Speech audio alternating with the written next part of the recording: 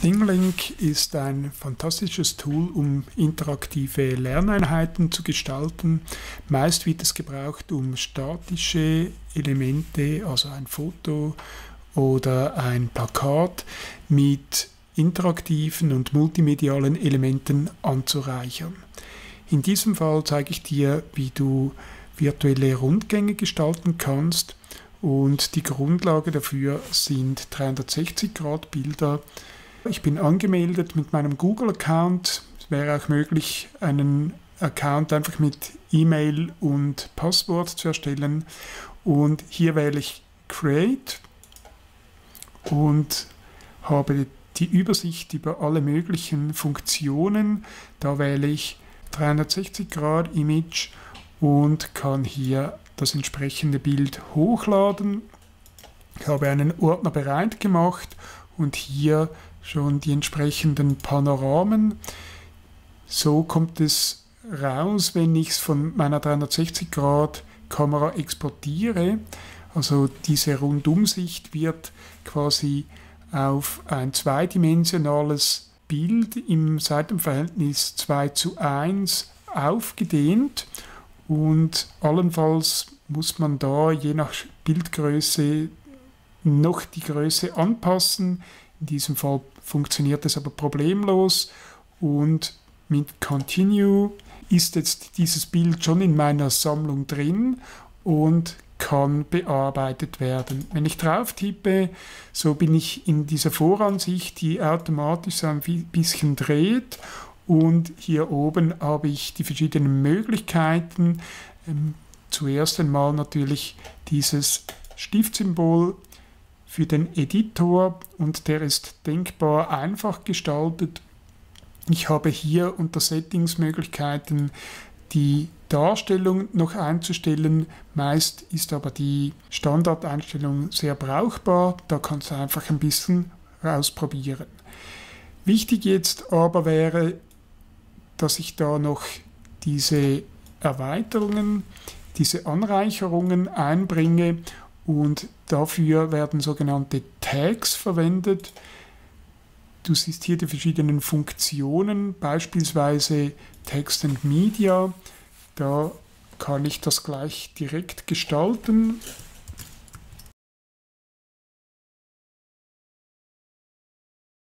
In diesem Fall möchte ich nun noch ein Bild einfügen.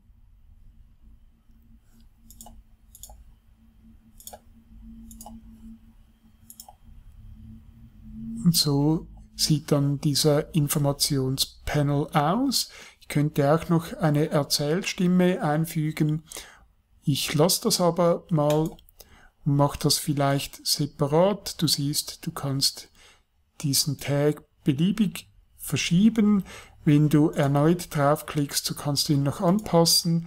Beispielsweise möchte ich hier nun das Bild noch ändern. So gefällt es mir besser machen wir gleich noch ein weiteres Beispiel. Add Tag und diesmal eine Website. Da kopiere ich einfach die Adresse einer Wikipedia-Seite rein. Du siehst, es wird automatisch eine Vorschau angezeigt. Auch hier wieder das Icon ändern zu diesem Informationsbutton, dann um vielleicht so zum Kirchturm. Ja, und jetzt soll die Reise natürlich weitergehen, wiederum über einen Tag flussabwärts und da wähle ich jetzt die Funktion Create Tour und wähle den Text flussabwärts. Hier muss ich eine neue Szene erstellen. Ich kann aus bestehenden Szenen auswählen oder eben wieder ein neues Panorama hochladen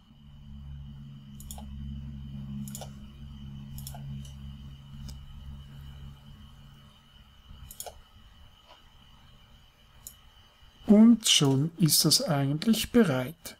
Ich wähle auch hier wieder dann und schließe mal diese Seite, indem ich da auch wieder den Editor beende und das zumache. Und du siehst, in meiner Sammlung ist jetzt auch noch ein zweites Rundumbild bereit zur Überarbeitung. Über diese drei Punkte wäre eine weitere Möglichkeit, den Editor aufzurufen. In diesem Fall möchte ich mal noch eine Erzählstimme einfügen, Add Tag und diesmal Add Text and Media und in diesem Fall aber nur eine Audiodatei, die ich hochlade.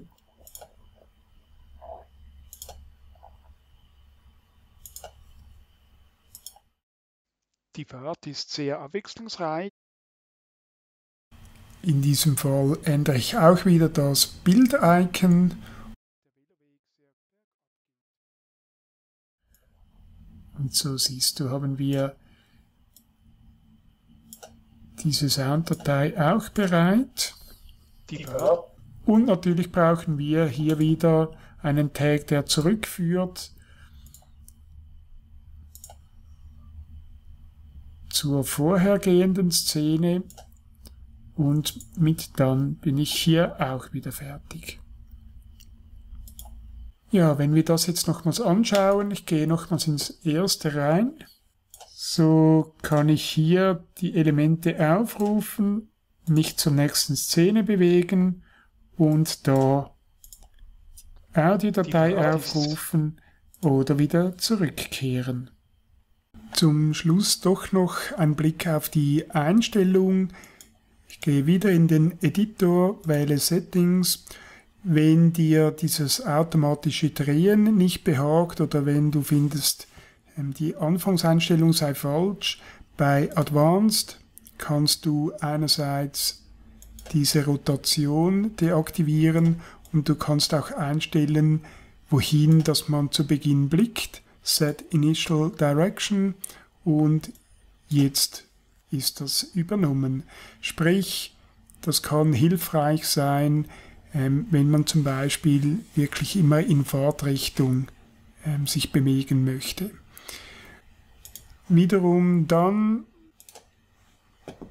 damit jetzt diese damit jetzt dieser Rundgang auch öffentlich sichtbar ist, muss ich da die Privatsphäreneinstellungen noch anpassen. Ich könnte es öffentlich sichtbar machen, dann finden es alle. Ich wähle meist Unlisted, dann kommen nur jene darauf, die den Link kennen und natürlich auch beim zweiten 360 Grad Bild auch hier Unlisted, Save und wenn ich jetzt wieder zum Anfangsbild zurückkehre, da kann ich mit Share diesen Einbettungscode verwenden. Mit dem kann ich es auf eine beliebige Webseite einbetten. Ähm, manchmal braucht man nur die entsprechende Adresse hier, die bei Source steht. Oder ich habe hier den Sharing-Link oder auch einen QR-Code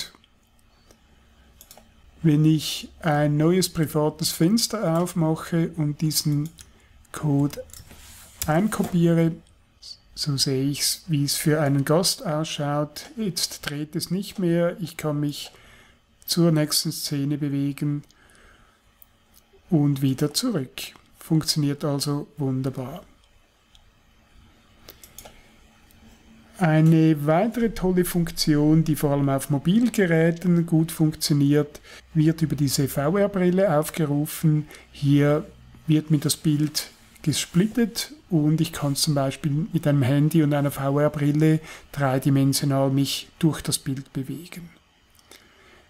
Ja, das wäre es für den Moment. Ich wünsche dir viel Spaß beim Aufbereiten von eigenen Rundgängen.